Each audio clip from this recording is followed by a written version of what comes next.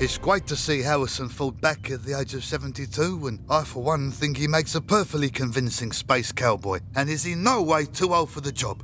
What, time for my nap?